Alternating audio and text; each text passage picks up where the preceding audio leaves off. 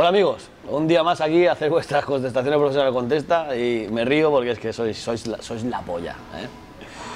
Digo, voy a ver los vídeos que tengo a ver qué preguntas me ponen y me voy al de Laura donde estuvo posando. No habéis puesto ni una pregunta, no- nada más que qué buena está, qué bonita es, que... pero bueno, ¿esto qué es? ¿No, sabéis, ¿No queréis saber ninguno cómo se posa o qué? Mm, 60 comentarios y todos diciendo lo buena que está la niña. Pues bueno, pues nada, pues vamos a buscar preguntas de, de verdad y eh, respondiendo, ¿vale? Vamos a seguir. Hola amigos, vamos a leer aquí una pregunta que nos dice nuestro amigo Gonzalo Martorell. Dice, ¿podrías explicar quemar el músculo? Me dicen que me estoy quemando por estar definido. Eh, la verdad es que, que es algo que se oye mucho en los gimnasios, que estás quemando el músculo. Pero es que cuando habláis de quemar el músculo, es que no sé lo que queréis decir. Decís que quemáis el músculo cuando entrenáis mucho. Decís que quemáis el músculo porque estáis muy secos. Decís que quemáis el músculo porque no sé, o sea, en realidad, en realidad yo os diré una cosa. Lo que siempre os he dicho, ¿no? Eh, podéis tener el nivel de entreno que queráis con el nivel de alimentación que seáis capaces de dar para ese entreno.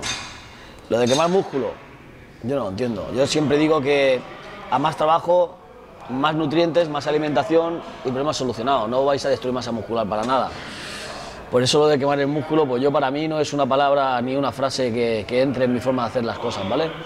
Yo cuando, cuando preparo atletas, lo que intento hacer es hacerlos a todo, a todo diferente. Sí que es verdad que partimos siempre de una base igual, porque prácticamente el comienzo de todas las formas de comer deben ser las mismas y después ir habituándolas a la forma de cada individuo, ¿no?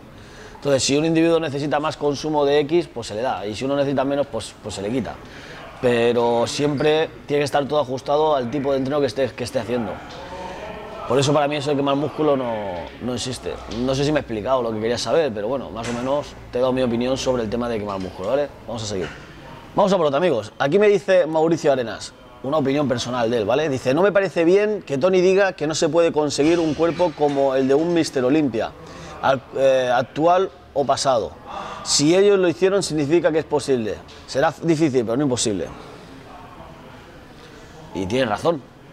No te voy a quitar la razón, Mauricio. Pero si te das cuenta, te voy a explicar una cosa. En muchos deportes hay muchos campeones, ¿vale? En el culturismo solamente hay uno, ¿vale? ¿Qué quiere decir? Te lo explico porque digo yo que no se puede conseguir. Lo conseguirá uno. Pero ¿cuántos millones sabemos en el mundo de personas?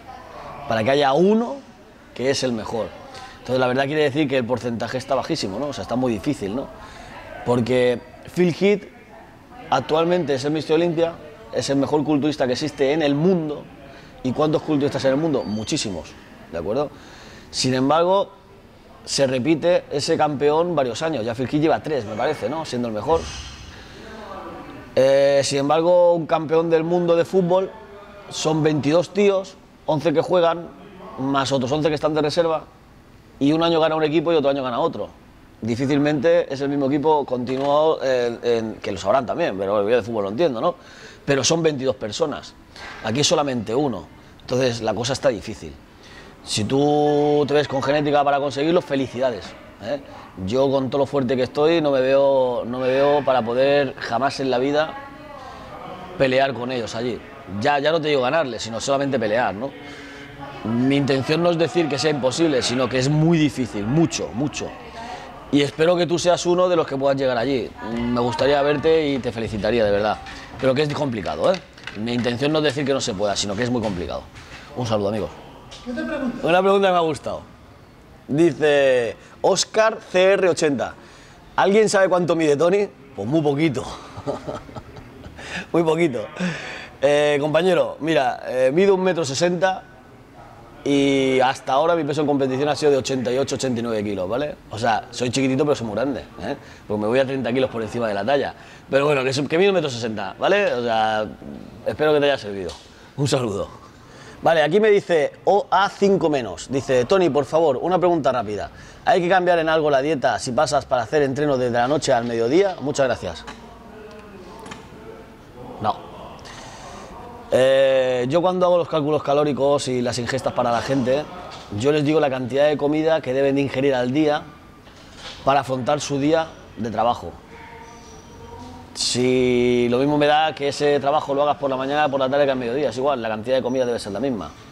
Lo que sí que debes, respetar son las ingestas de BCA glutamina esenciales o proteína antes o después del entreno, ¿de acuerdo? Pero la comida debe ser la misma, o sea, es indiferente. Incluso mucha gente dice quitar los hidratos de carbono por la noche y yo no los quito. ¿Por qué? Porque para mí, si estamos hablando de que los hidratos de carbono funcionan como glucógeno muscular en depósitos, ¿vale?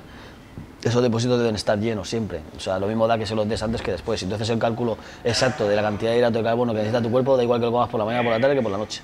Que será el mismo, ¿vale? No te perjudicará ni te beneficiará en nada. ¿De acuerdo? Vamos a seguir. Bueno amigos, espero que como siempre os hayan servido de algo las explicaciones que os he dado. Y ponme más cosas, que empiezo ya a no tener cosas para responder hoy, se va a acabar el chiste, ¿eh? Y me vais a dejar sin faena. Ponme más preguntas, ¿vale? Nos vemos en la próxima. Un saludo.